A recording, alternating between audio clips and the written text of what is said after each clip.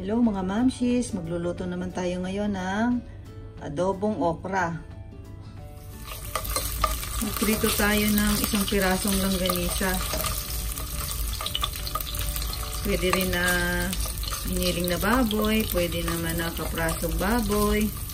Kung ano yung available. Ito kasi yung available sa ref, kaya ito yung sinahog ko. Isang pirasong longganisa.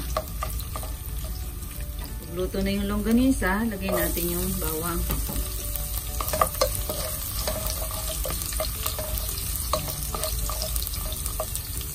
Luto na yung bawang, sunod natin yung sibuyas.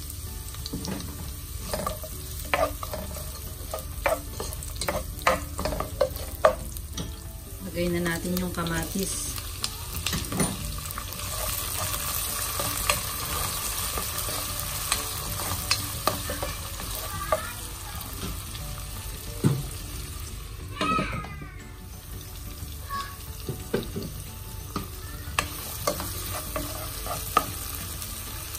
Ito na yung kamatis. Lagyan na natin ng paminta, ng patis,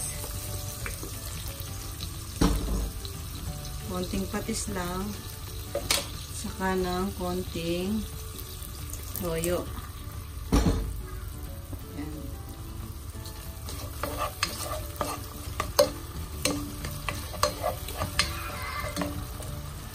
Yan, lagay natin yung hipon.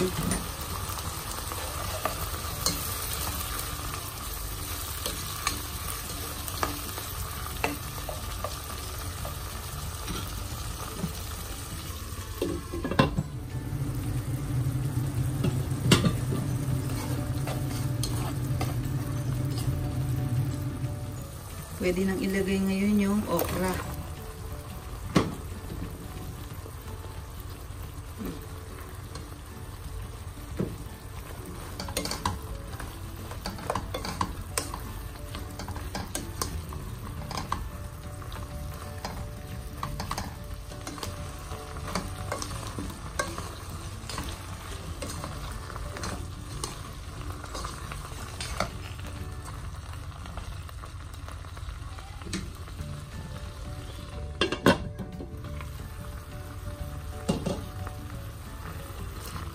Haluin natin para magpantay yung lasa.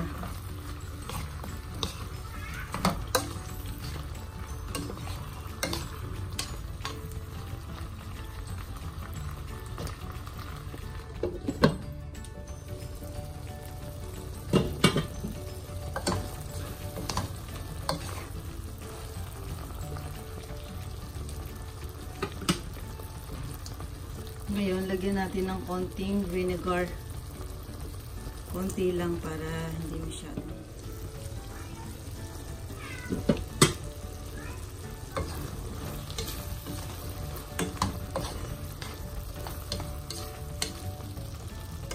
Kung gusto nyo na may sabaw-sabaw, pwede naman kayong maglagay ng tubig. Pero sa akin, oh, medyo okay na to. Bago hanguin, huwag kalilimutang tikman.